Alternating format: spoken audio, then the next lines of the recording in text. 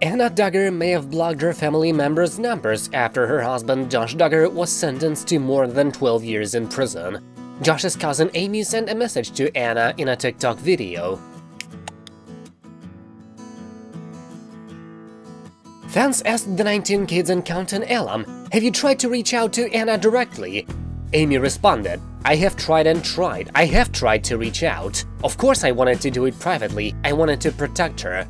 After making attempts to become Anna's sounding board, the ex-reality star speculated that her phone is reportedly being monitored, has allegedly been taken away or possibly turned off. She confessed, I have tried everything, now what do I do? The Counting on alum also theorized, she also has my number, unless she deleted it. I don't know, I could be blocked, that could be it too. I don't know how to reach out to her.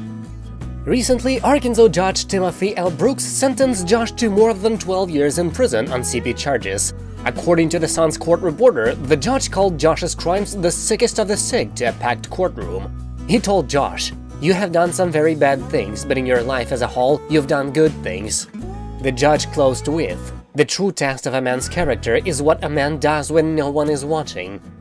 The Sun exclusively obtained photos and videos of Josh's wife as she fled the courtroom.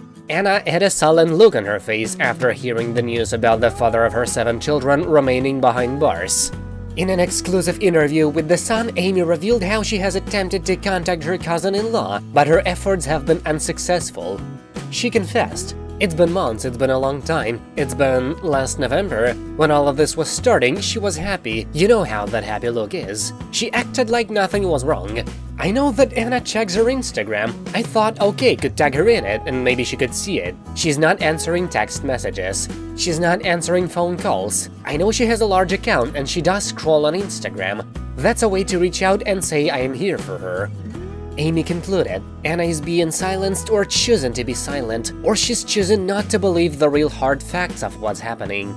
That's it for now, thank you for watching, please subscribe to stay tuned.